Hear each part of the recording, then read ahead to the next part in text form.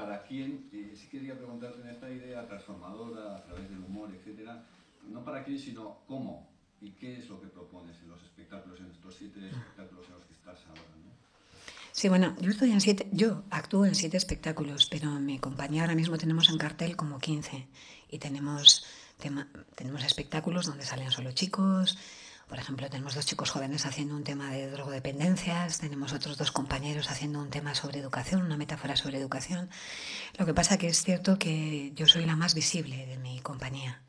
Y, precisamente el hecho de que se me asocie a mí como directora y a tema de mujeres, a menudo no se contrata a compañeros o compañeras que hacen espectáculos de otros temas. Siempre en nuestros espectáculos va a haber un sesgo de género, pero en general hay una mirada inclusiva. Eh, prestamos atención a la discapacidad, a la exclusión por motivo de, etnia, a la gente racializada, a la gente pobre. Eh, entonces, bueno, pues eso está ahí también. Eh, yo reivindico el humor y la poesía. Entonces, dentro de nuestros espectáculos, yo trabajo como narradora, porque cuando he hablado de siete espectáculos me refería a siete espectáculos de teatro, clown, teatro clown. Pero también tengo otros espectáculos que son espectáculos de narración oral, que esos no son, siempre considerados teatro, aunque forman parte de la escena.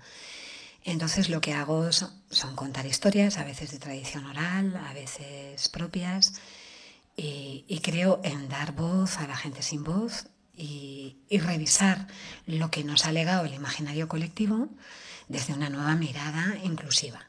Entonces yo cuento historias a veces terribles como piel de asno o qué sé, incluso los tres cerditos con un sesgo de género, o sea, revisando el sesgo de género ¿no? y otros, otros sesgos que puede haber. Y luego a nivel de clown, que a lo mejor es por lo que soy más conocida, es eh, yo reivindico el humor primero para sanarme yo, eh, luego para sanar a la gente, para reconciliar las polaridades enfrentadas, porque mm, somos capaces de mucha generosidad y de mucha mezquindad. Podemos ser superliberales y de izquierdas y al mismo tiempo de repente ponernos conservadoras. Eh, podemos ser muy feministas y pescarnos en un momento determinado en, en, una violencia sexista simbólica. Hombres y mujeres, ¿eh? porque el sexismo nos afecta a unas y a otros, nos da a todo el mundo. No lo vivimos igual, ¿eh? pero entonces el humor a mí me ayuda a reconciliar los contrarios y me ayuda, riéndome de mí, la gente lo recibe de otra manera. Cuando yo me río de mis paradojas, de mis contradicciones, la gente levanta menos las resistencias. ¿Sabes esto que es? Yo no soy racista, pero, ¿no? Pues hay mucho. Yo no soy sexista, pero, ¿no? Es que hay mujeres que no sé qué, ¿no? O incluso frases que todavía me ha tocado oír hace poco, yo pensaba que esto ya lo habíamos superado, del estilo de, es que, mm, ah, oye, un comportamiento súper machista, súper sexista, y era una mujer. Es como que perdonamos menos el machismo a las mujeres. ¿Por qué?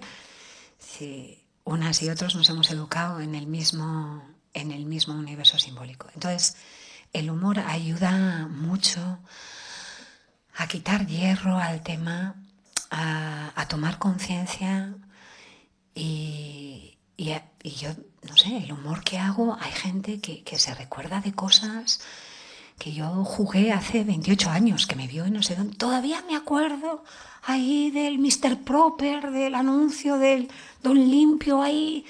Eh, ¿Y por qué lo recuerda? Porque lo que yo jugaba les pasaba. Porque yo les estaba contando algo de lo que les pasaba.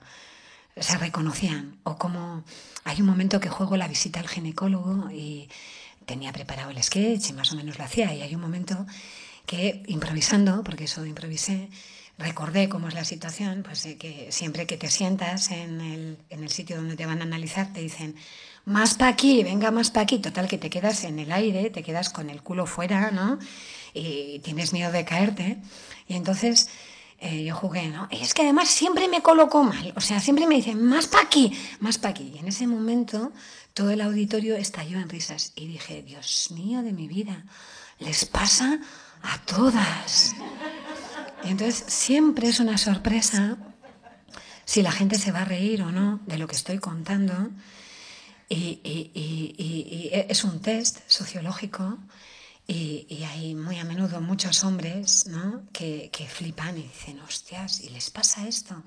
Entonces, con los hombres les permite la empatía, porque el arte tiene eso de maravilloso, que yo soy una mujer, pero si estoy leyendo El viejo y el mar, soy capaz de ser el viejo y hacer el viaje de ese viejo confrontado a su propio acabarse, a la muerte, al mar, a la inmensidad del mar.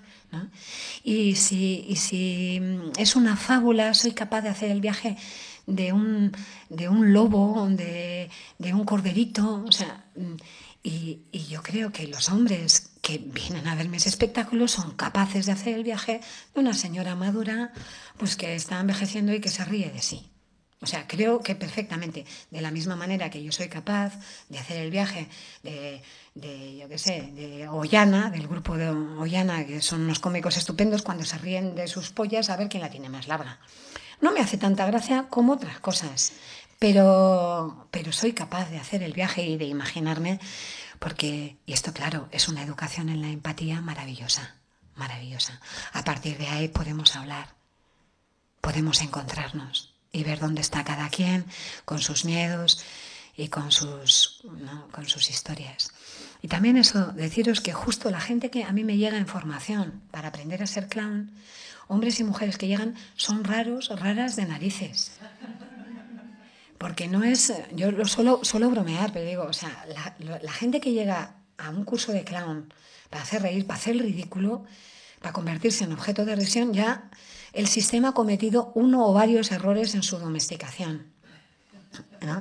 Porque los hombres que llegan, llegan no solo para hacer alarde de torpeza, sino para atreverse a expresar el miedo, que para los hombres históricamente ha estado prohibidísimo.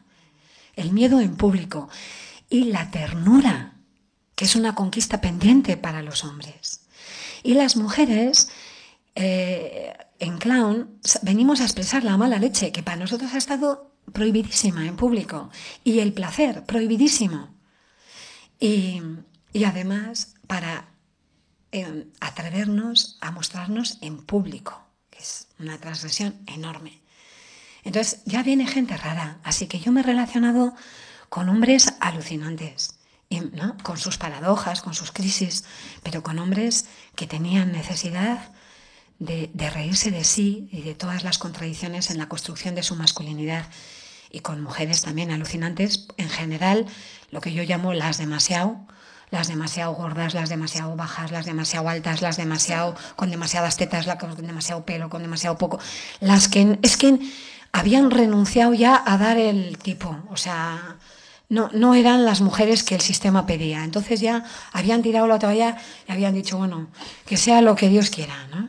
Y ahora ya empieza a haber mujeres menos estéticamente divergentes, pero hemos tenido una cuadrilla de las demasiado, siempre. Y, ahí vamos, ahí vamos. Así que yo digo, si hay gente, hombres y mujeres que se acercan a los cursos de formación, todo es posible, todo es posible. Y tanto la feminidad como las masculinidades están siendo revisadas cada vez más. Así que todos son motivos para celebrar.